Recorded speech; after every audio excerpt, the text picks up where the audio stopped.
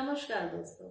आज मैं अपने इस वीडियो में आपको बताती हूँ कि रेकी में और क्लीनिंग कैसे की जाती है। रेकी में और क्लीनिंग एक बहुत ही महत्वपूर्ण प्रक्रिया है, जिसको कि हर हीलर को आना चाहिए। देखिए और आखिर होती क्या है? और कुछ अलग नहीं है। और एक इलेक्ट्रोमैग्नेटिक फ़ील्ड है, जो हमारे शरीर के चारों ओर है। और बनी कैसे है? और आखिर हमारा ही शेडो है। किस तरह से?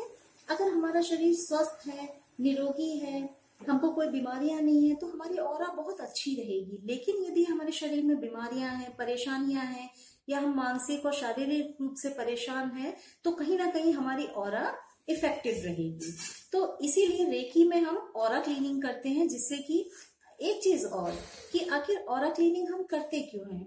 उसका एक इंपॉर्टेंट कारण यह है कि जब आ, कोई भी बीमारी हमारे शरीर में आने से पहले बाहरी वातावरण से जब आती है तो पहले हमारी और को इफ़ेक्ट करती है।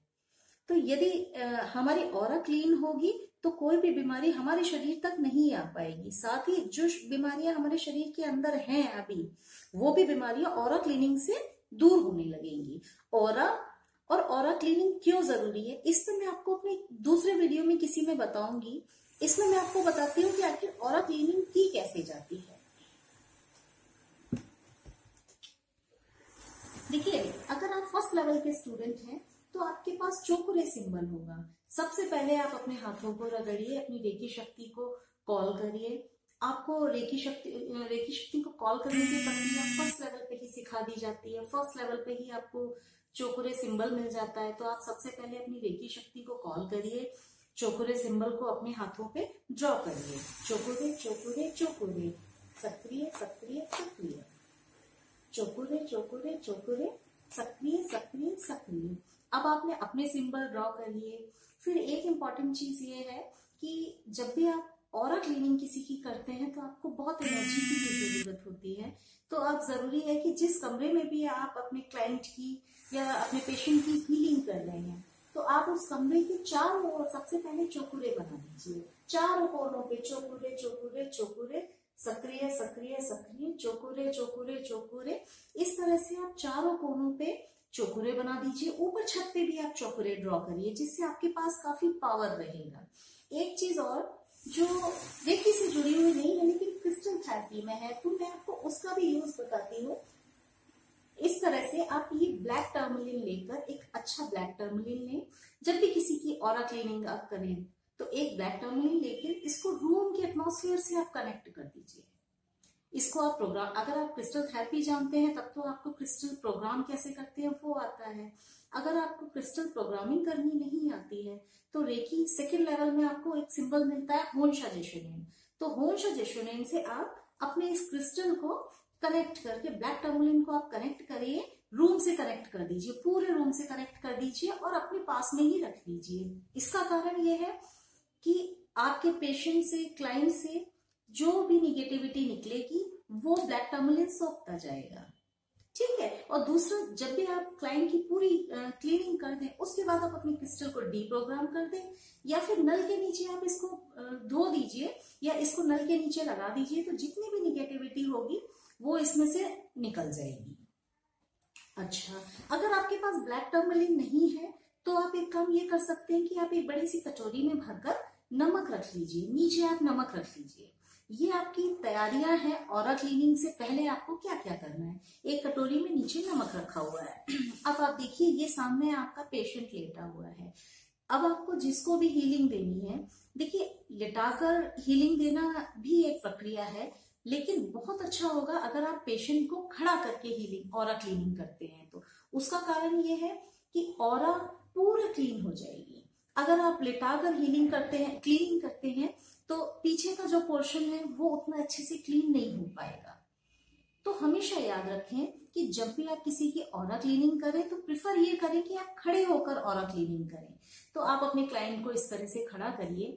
अब आप एक काम करें, एक बड़ा सा अगर आपके पास चोकुरे सिंबल है, आप फ़र्स्ट लेवल, सेकंड लेवल पे हैं तो आपके पास सिर्फ़ चोकुरे सिंबल होगा। लेकिन अगर आपके पास डायकोनियो सिंबल है तो आप एक बड़ा सा डायकोमियो ड्रॉ करिए। डायकोमियो डायकोमियो डायकोमियो। सक्रिय सक्रिय सक्रिय। अब आपको जिसकी हीलिंग करनी है, अगर आपके पास डायकोमियो सिंबल है तो आप पूरे शरीर पे एक बड़ा सा डायकोमियो बना दें।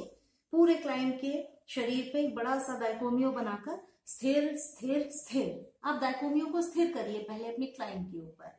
कोई बात नहीं, अगर आपके पास डायकोमियो नहीं है, आप चोकुरे बना दीजिए। अगर आप सेकेंड लेवल तक के स्टूडेंट हैं, आपके पास मात्र चोकुरे है तो आप एक बड़ा सा चोकुरे बनाइए। चोकुरे चोकुरे चोकुरे। सक्रिय सक्रिय सक्रिय। इस तरह से आप चोकुरे से करिए।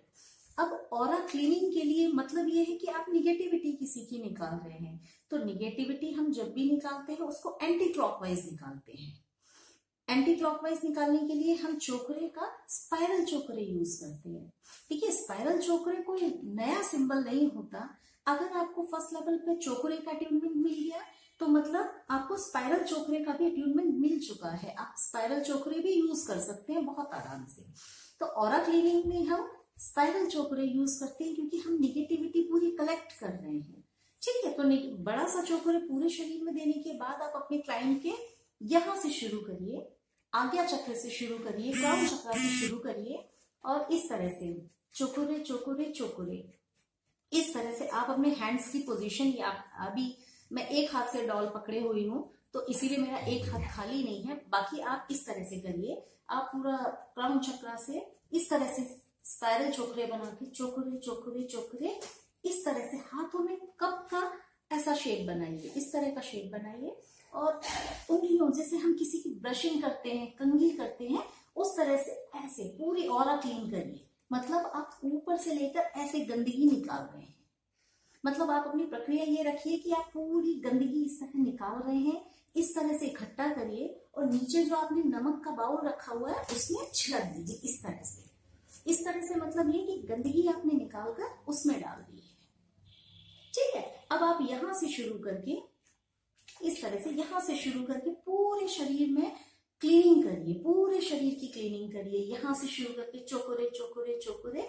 आपको स्पाइरल चोकुरे को भी चोकुरे ही बोलना है। चोकुरे चोकुरे चोकुरे और इस तरह से क्लीनिंग करिए। ऐसे इस तरह। पेशेंट को अपने खड़ा करके आप इस तरह क्लीनिंग करिए, इस तरह से गंदगी भरिए और या तो आप उसको यूनिवर्स में फूक ऐसे सारी मन में अपने भाव रखिए कि आप जितनी भी गंदगी निकल रही है, आपकी क्लाइंट की सारी गंदगी निगेटिविटी ब्लॉकेजेस बीमारियाँ जो जो परेशानियाँ उसके शरीर में है, बीमारियाँ उसके शरीर में है, ये सब निकल के यूनिवर्स में आप फूकते जाइए और फिर अपने हाथ को नीचे इस तरह से बाउल में डालते जाइए। तो पूरे शरीर की इसी तरह करना है। आपको दो चार बार नहीं छोटे छोटे स्पाइरल चोकुरे बनाइए। जितने ज़्यादा आप चोकुरे बनाएँगे, उतनी ज़्यादा क्लीनिंग होगी। जैसे आपने ऊपर से शुरू किया ना, यहाँ से आपने शुरू किया, उसके बाद आप यहाँ आइए, थ्रोट पे अलग से दीजिए, गले पे इस तरह से चोकुरे, चोकरे, चोकुरे, और इस तरह से आप क्लीनिंग की ये प्रक्रिया रखें, जैसे आप मतलब जैसे कंगा करते हैं कंगी करते हैं, उस तरह से आप क्लीनिंग करते जाइए, इस तरह से निकालिए, और सारी निगेटिविटी निकाल के इस तरह हाथ में भरिए और यूनिवर्स में फूकते जाइए। और अपने मन में ये भाव रखिए कि सारी गंदगी निकल रही है। आपका क्लाइंट पूरी तरह स्वस्थ होता जा रहा है, पूरी तरह स्वस्थ हो रहा है। उसकी सारी बीमारियाँ निकल के यूनिवर्स में जा रही हैं। इसी तरह आप पूरे सर से लेके पाँव तक की क्लीनिंग करिए पहले, खड़ा करके अपने क्लाइंट की। उसके बाद हैंड्स के बगल में करिए। यहाँ से पूरी क्लीनिंग दीजिए साथ में, ये। यहाँ से हमारे सातों चक्र पूरी तरह शुद्ध हो गए, पैरों तक हो गए, यहाँ से पूरी क्लीनिंग करिए, इस तरफ़ से करिए। फिर आप उसी तरह स्पाइरल चोकरे से इस तरह इधर से पूरी क्लीनिंग करिए। फिर उसके बाद सर के पीछे से रीढ़ की हड्डी पे यहाँ पर पूरी क्लीनिंग करिए। इसका एक विशेष फ़ायदा यहाँ इस जगह करने का होता है कि जैसे अगर मान लो आपके पेशेंट को हृदय संबंधी कोई भी परेशानियाँ हैं या वो हार्ट का पेशेंट है या उसके हार्ट में ब्लॉकेजेस हैं कुछ भी है तो वहाँ पर रीढ़ की हड्डी पर खूब क्लीनिंग करिए आप। इस तरह से यहाँ पर क्लीनिंग करिए, इसी तरह क्लीनिंग करिए और गंदगी निकाल के यूनिवर्स में फेंकते जाइए। तो इस तरह पूरा पीछे, पूरा इधर उधर, रूट चक्का से लेके फिर पाँव तक क्लीनिंग पूरी तरह इस तरह से आप क्लीनिंग कर लें। और क्लीनिंग करके यूनिवर्स में ऐसे फूके और हाथ भी अपना ऐसे बीच बीच में बार बार अपना हाथ करें, जैसे आप कोई गंदगी छुड़ा रहे हैं। और वास्तव में आप और क्लीनिंग यानी और में से सारी गंदगी ही निकाल रहे हैं। तो आप ये निकाल के कटोरे में इस तरह डालते जाए। जब इतना ये आपकी प्रक्रिया हो जाए, आगे भी, पीछे भी पूरी क्लीनिंग हो जाए, उसके बाद आप इसमें चोकुरे डालिए। चोकुरे चोकुरे चोकुरे। सील्ड सील्ड सील्ड यदि आप हीलिंग देना चाहते हैं, अगर आप और क्लीनिंग के बाद हीलिंग भी देना चाहते हैं तो फिर आप हीलिंग दीजिए। जिस भी अंग पे आप हीलिंग देना चाहते हैं, आप सोलर प्लेक्सिस पे देना चाहते हैं या हर्ट चक्रा पे देना चाहते हैं, आप हीलिंग भी दे सकते हैं। लेकिन और क्लीनिंग करने के बाद और को पूरी तरह सील कर दीजिए आप। चोकुरे चोकुरे चोकुरे। सील्ड सील्ड सील्ड मतलब जितना आपने क्लीन कर दिया, वहाँ तक उतना वो क्लीन हो गया है। उसको आपने सील कर दिया अब और गंदगी उसमें नहीं आएगी। और क्लीनिंग एक बार करने से नहीं काम चलेगा आपको कई दिन करनी पड़ेगी। अच्छे रिजल्ट्स पाने के लिए आपको कम से कम आधा घंटे छोटे छोटे बहुत छोटे छोटे चोखरे बनाइए और और क्लीनिंग करिए, तब आपको रिजल्ट्स मिलेंगे इसके और क्लीनिंग के। और दूसरा और क्लीनिंग करने से जो रिजल्ट्स मिलेंगे, वो इतने अमेजिंग होंगे कि बहुत सारी बीमारियाँ कब और किस तरह से खत्म होती जाएँगी, आपको समझ ही नहीं आएगा। क्योंकि जितनी भी बीमारियाँ हैं, हमारे शरीर के इन्हीं सात चक्रों से जुड़ी हुई हैं। और क्लीनिंग करके हम इन्हीं सातों चक्रों का शुद्धिकरण करते हैं। तो इस तरह से आप और क्लीनिंग कर सकते हैं। तो ये तो आपका एक प्रोसेस हो गया और क्लीनिंग अब आपने चोकरे से इसको लॉक भी कर दिया। दूसरा, अगर आपको सुरक्षा चक्र बनाना आता है तो आप इसमें सुरक्षा चक्र भी बना के और उसको पूरी तरह से सीड कर दीजिए। ये आपकी और क्लीनिंग की प्रोसेस हो गई। इसके बाद आपको क्या करना है? ये तो और क्लीनिंग आपकी हुई जो आपको करना है वो ये कि ये जो बाउल रखी हुई है ये इसमें नमक भरा था और इसमें गंदगी आपने डाली। तो सबसे पहले तो इसको किसी नाली में या वॉश बेसिन में सिंक में इसको आप बहा दीजिए मतलब गंदगी बह गई। उसके बाद आप अपने हाथ यहाँ तक पूरे अपने हैंड्स वॉश करिए। पूरे अपने हाथ धोइए, पूरी अपनी सफ़ाई करिए। और सबसे पहले जब भी आप किसी की और क्लीनिंग करें, अपने आप को लॉक करके ज़रूर रखिए। अपने आप को सुरक्षा चक्र में या पिरामिड में आप बंद करके रखें तो वो आपके लिए सुरक्षित रहेगा। उसके बाद आप हैंड्स अपना वॉश कर लीजिए अच्छे से। और साथ ही आपने जो क्रिस्टल प्रोग्राम करके रखा हुआ है तो इसको आपको डी प्रोग्राम करना है, ताकि इस क्रिस्टल को आप फिर किसी दूसरे क्लाइंट के लिए भी इस्तेमाल कर सकें। तो इसको आपको डीप्रोग्राम कैसे करेंगे? आप इसको पानी के नीचे ले जाकर इसको भी थोड़ा देर नल के नीचे रहने दें, ताकि इसमें पूरे रूम की, वातावरण की जितनी भी गंदगी सोखी है तो उस गंदगी को निकाल दे और साथ ही इसको डीप्रोग्राम कर दीजिए। पूरी गंदगी को नाली में बह जाने दीजिए। तो इस तरह से दोस्तों, रेखी में और क्लीनिंग की जाती है।